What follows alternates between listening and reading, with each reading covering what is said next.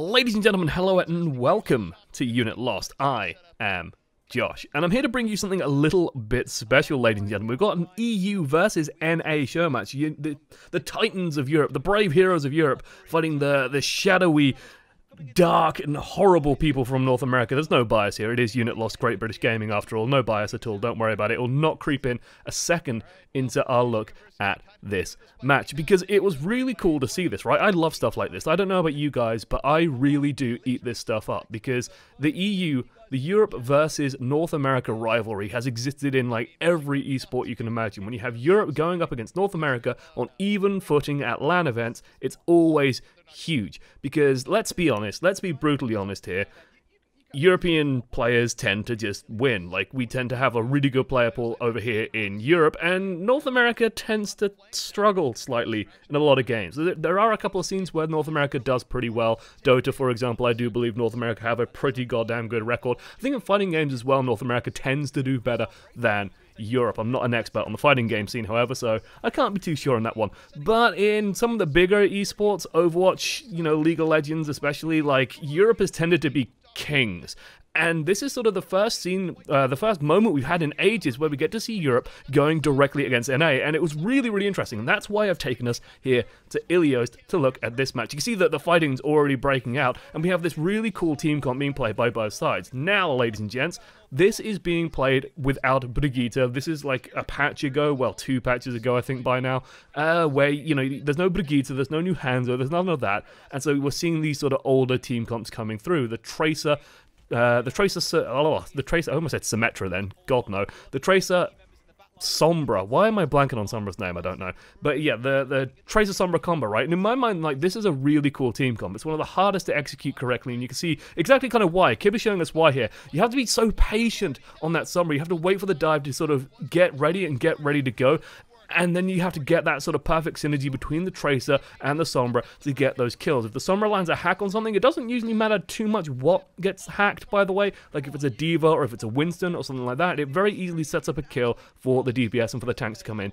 and get those kills. But Fusion University play this team comp so well. This is considered like a North American style, right? Then like Fusion University played this superbly, largely on the back of Who Are You, who is Korean just just FYI. So you know, good on you, North America. You can import beautifully. But who are you? Like, man, this guy is insane. Like this guy, um, to me, who are you? Kind of. I don't know, he's like the epitome of what you want out of contenders, right? He is a player that should be in Overwatch League, and being brutally honest with you, like both of these teams could probably beat Shanghai Dragons, you know? Just, just, you know, just throwing that out there.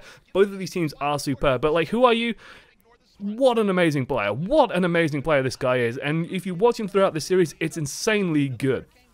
You can see both teams sort of duking for position. You can see how like frantic and chaotic this team comp is. How aggro it is, how much skill it takes to work, and you see the EMP coming out having huge impact in these fights. Like I love playing Sombra, and like this is sort of one a cool thing for me as well. Like I talked about this in a previous video, where you can use pro level play to sort of watch and figure out how to play certain heroes. Because like if you watch how these Sombras play, they're finding hacks before trying to do anything. They're prioritizing the hacks super heavily, and I found that reflective in my own play when I go and play Sombra elsewhere. It's like okay, well if I try and play to aggro without hacking too much, it's really really bad. But if I get the hacks on stuff, they die in mere moments. It's more about setting up kills rather than actually engaging them. North America with a cheeky aggro play, and it's really going to start paying off on them as well. Like North America's playstyle, the the aggro dive is absolutely superb.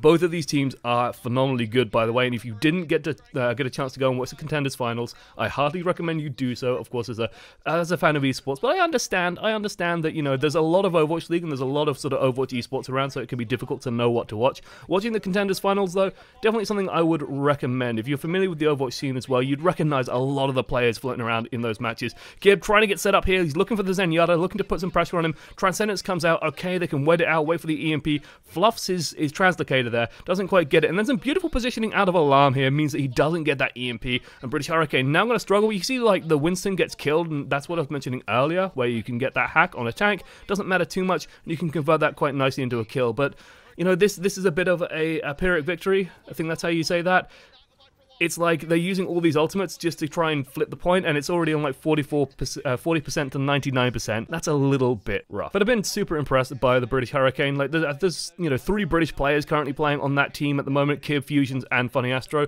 all putting in superb performances. All of that team is European, unlike you know the the dirty, underhanded Americans that had to import some Koreans to to you know mar this NA versus EU spectacular. Because let's be honest, you know Korea tends to do pretty well at esports and tends to sort of be kings, or are they? Are they, ladies and gents, with how the Overwatch League is going? Like the teams with heavy Korean pl- uh, players on them, not doing quite so well. Although every Overwatch League team at the moment, I do believe, does have at least one Korean player. So Korea still showing pretty strong, I do believe. Anyway, enough enough sort of tangents. You can see North America, like they know what they need to do here. They they know exactly what they need to do. And they know they can engage with the sound barrier as well. It's completely safe. Elk just throws out the sound barrier. They can engage using it. EMP's not going to be up for a while because Sombra can't build it as fast as she used to. So they just go in, EMP, uh, EMP sound barrier, engage super hard, get a bunch of kills, no goddamn problem for these guys. Elk, by the way, another super player, had amazingly good performances in this series. Definitely worth keeping an eye on him. Of course, Europe not without their own stars. Craigie here just showing it off. And of course, there we go. Funny Astro just showing a Lucio dunk. Like, we, we need the you know the Lucio basketball skin. Forget the hockey because he just slam dunked three people, well not three people, two people and a mech into the well and it's it's phenomenally good. But as you can see, who are you? This guy is is just scary. Like if you put him in Overwatch League, I genuinely want to see how he stands up against the, the Titan Tracers in Overwatch League. Of course, with Stage 4 on the way, with Brigitte on the way, Tracer might not be quite as big of a thing. So, you know, maybe maybe now isn't the time to hire Who Are You, but incredible player, incredible Tracer. But, but, ladies and gents, there's a reason why I picked this map, and it's because we got to see a variety of playstyles. So let's go and see the next one.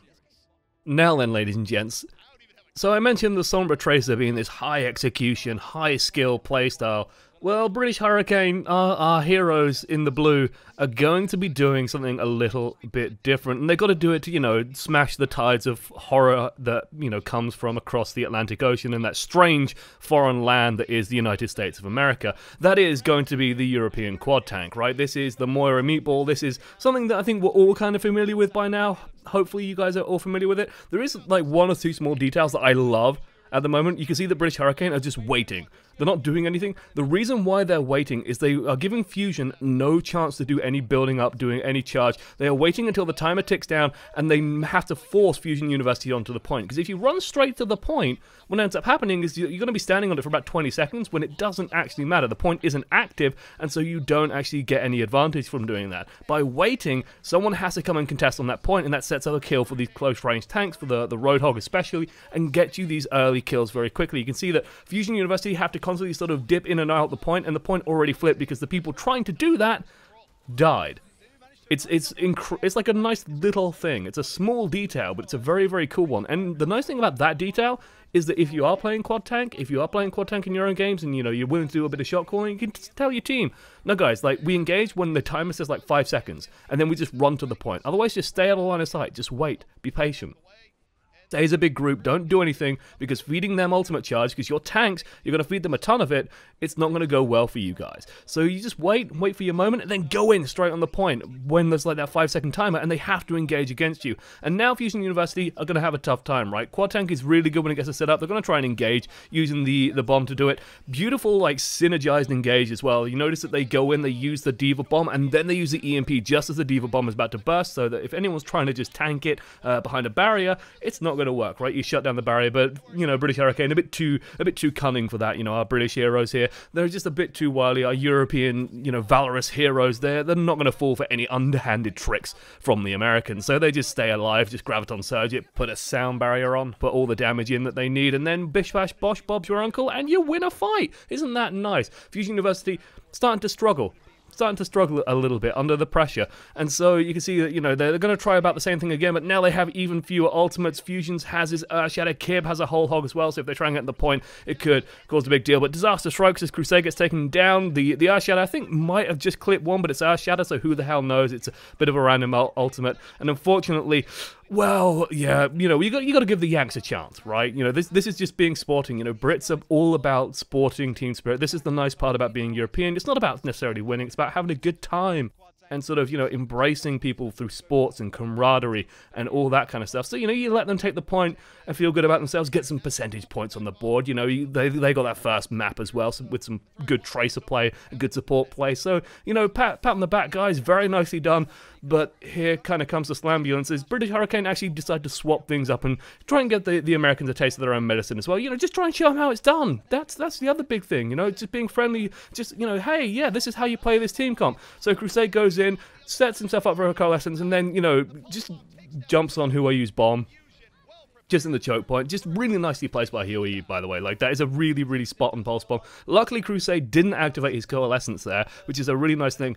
One of the cool things that I, you know, you can spot with Crusade, and this is something that you should use to optimize your Moira play, is that if you are setting up to use a coalescence, always throw an orb out. Doesn't matter if it's damage or healing, but make sure you throw that orb before you coalescence, because of course you can't orb while you're coalescing, or coalescing, I suppose. You're forming together. I don't know. But you can't throw that orb while you're using that coalescence, while you're using that ability. So what you need to do is throw the orb first and then coalescence, and then you get more healing or more damage depending on what you need. But as you see, engage going in again. Look for a target, just trying to set up. Engage goes in. Sound barrier gets used defensively, but they just wait a while, let it burn off, because sound barrier, you know, it burns off nice and quickly, while Brigitte can put a permanent 150 armor on people. That's fine. That's a-okay. There's no problem with that. Some beautiful work, actually, by Beast Halo here to try and boop a couple of people off, but he does get hacked, and a hacked Primal Rage in Winston feels kind of helpless. Like, I don't know if you guys have been in that situation, but I certainly have, and it's, it's kind of no fun. It's kind of no fun. You just feel like a great big punching bag. But beautiful fighting here by the British Hurricane. Again, just picking out targets. Kib especially finding these hacks on targets. And then just the DPS is right there to follow up. The support alts are right there to follow up as well. As Alarm uses Transcendence very early on in the fight. Couldn't get advantage to it. And British Hurricane even up the series. Because, you know, while it's nice to be sporting as well, this is a serious tournament. So we've got to take it seriously. So it's, it's now 1-1 against the American Menace. And so now, ladies and gents, we're on Ruins. We're on the, the sniper map, right? This is where you play Widowmaker and you have a big sniper duel and you see like Pine popping off in Overwatch League and it's like, oh my god, the snipers are so big. Do, British Hurricane care? No, because, you know, sniping's underhanded and French, and while France is in Europe, nobody likes the French, so we're just going to play Quad Tank again and just, you know, try and go from there, and if you are French and you are offended by that, um, I'm sorry that you're French. Anyway, right, okay, enough. Uh, so yeah, you can see that British Hurricane doing exactly the same thing, right? That hiding strat, just waiting, biding their time, picking their moment so that they're not going to be on the control point before it activates. Five second ticks through, they move in nice and aggressively, get straight onto the point. And you're going to see actually Zachary just build up his ultimate super fast here, by the way, on that Widowmaker. When Widowmaker can just land shots into targets non-stop, her DPS is actually pretty good, and her ultimate charge rate will be phenomenally fast. But you can see that British Hurricane, they're just playing by the wall, they're just hugging that wall, they know how to play trench warfare, and they're just set up in position to try and, you know, not get their head popped off by the Widowmaker Maker instead. They're just going to play it nice and safe, stay on the point, stay in that big clump position, get Crusade a very, very fast ultimate because, hey, Crusade is playing. Moira, who builds these ults very quickly. And meanwhile, Fusion University, they're going to actually struggle because they are playing a mono support strategy at the moment. This can work, it's kind of an interesting decision. Um, basically, the idea is that, you know, Elk is just going to be doing the majority of the healing so that Alarm can get some more damage, provide EMPs, and the health packs on this map are actually pretty good for, you know, using in combat. There's that large health pack, the mega health pack near the statue that you can sort of fight by as well, get some healing out of that one. But, you know, a lot of the things on British Hurricane are going to just burst you down anyway. But the big issue that I have with this strat is that, you know, how are you going to pop these tanks without that Zenyatta? How are you going to kill these tanks if you're relying on the DPS of a Widowmaker and a Tracer with no Zenyatta. And that to me is like a really big issue here with Fusion University strat is that they're gonna really struggle. And sometimes, you know, this will happen where who are you will just, you know, meet Kib and Kib will say hi and then just, you know, blow him up. And there we go. There goes the, the Korean export as I'm so happy to remind that everyone uh, everyone in the United States that hey, yeah, the, the best player on this team in the EU versus NA show match is is a Korean. Okay, Alarm set up, good to go. He's set up for the EMP. EMP is huge on the point, but Sound is just there waiting for him. Funny Astro waiting, biding his time. He knows the threat. They know that the Sombra EMP is coming, and they play around it beautifully. Make sure they can get that defensive ultimate. Now their job is just to stay alive on the point, get some juicy damage in as well, and, you know, use all this tanking power, all this tanking power on the point. Now then, ladies and gents, like, EU versus NA is a historied and storied matchup, okay? It's something that goes on and on and on and on. But at the end of the day, to me, it's all about the banter. It's all about the, the jokes. It's all about sort of, oh yeah, look how good this is, look how good this is. What's always interesting to me is how the meta develops differently in different countries and then, or different regions and then exploring how that works. And one of the issues that I have with Overwatch League is that we don't have that segregation anymore of EU versus NA, where you get to see like all these different metas developing. So this show match I thought was a really nice example, just showing what happens when two metas collide from two separate regions and seeing how it all goes. And you can see it throughout the show match, different styles being played, different ways of playing it, and just going up against each other in what is at the end of the day a friendly show match, but it's just a lot of fun at the same time. Now at the end of the day, spoilers ahead if you don't already know for some reason, Europe did end up winning the series, but hey, at the end of the day, it's all about the bands. And unfortunately, well, Europe has America beat there too, so GG, no re lads. Alright guys, thank you for watching to the end. I have been Josh, as one voice amongst many, and I'll see you next time. Toodles.